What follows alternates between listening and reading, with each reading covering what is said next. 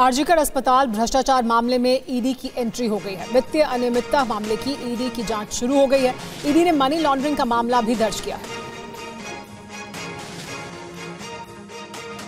इस पर और ज़्यादा जानकारी के लिए हमारे साथ टीवी नाइन भारतवर्ष संवाददाता जितेंद्र शर्मा जुड़ गए हैं।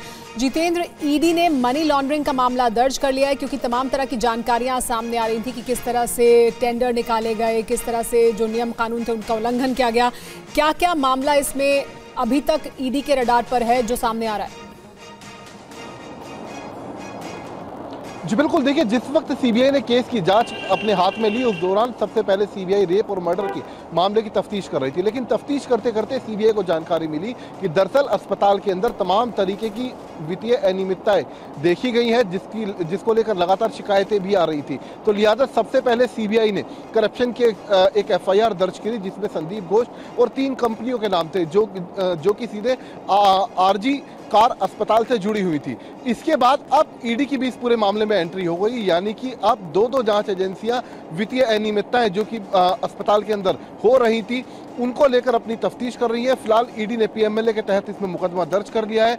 ईडी ने जो अपनी ईसीआईआर दर्ज की है, वो सीधा संदीप घोष और कुछ कंपनियों के खिलाफ दर्ज किया इसके अलावा इसमें कुछ प्राइवेट पर्सन के भी नेम है। तो लिहाजा जल्द ही अभी इस मामले में ईडी भी संदीप घोष से पूछताछ कर सकती है। इसके अलावा जिन कंपनियों के नाम सामने आए हैं जिनको बाकायदा अस्पताल की तरफ़ से अलग अलग मेडिकल इक्विपमेंट्स के लिए जो टेंडर दिया गया था, उन कंपनी के ऑनर से भी पूछताछ की जा सकती है। उनके स्टाफ को भी पूछताछ के लिए बुलाया जा सकता है। जी। जी, जितेंद्र, इसके अलावा यह भी जानकारी सामने आ रही है। संजय रॉय को पुलिस वेलफेयर विभाग से बाकायदा बाइक मिली हुई थी। पुलिस डिपार्टमेंट की तरफ़ से जो बाइक मिली हुई थी, उसी से ये संजय रॉय चलता था। ये क्या मामला है और उसकी भूमिका थी क्या आखिर?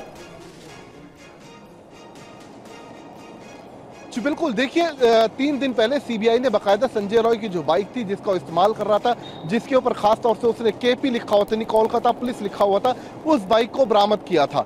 दरअसल ये बाइक इसलिए बरामद हुई थी क्योंकि जाँच का एक एसओपी होता है कि यानी कि जिस आरोपी से पूछताछ होती है जिसकी गिरफ्तारी होती है उससे जुड़ी तमाम चीज़ों को जब्त किया जाता है चाहे उसका मोबाइल फ़ोन हो उसके इलेक्ट्रॉनिक गैजेट्स हो या फिर उसके द्वारा यूज़ कर किया जाने वाला वाहन हो।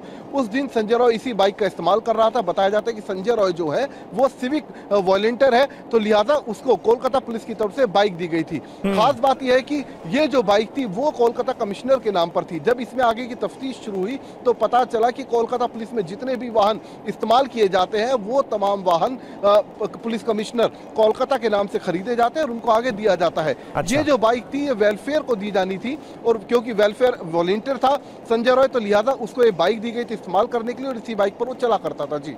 ठीक है शुक्रिया आपका जितेंद्र इस जानकारी के लिए। जितेंद्र शर्मा हमारे सहयोगी जो लगातार इस केस को ट्रैक कर रहे हैं कई नई और अहम जानकारियाँ अब सामने आ रही हैं।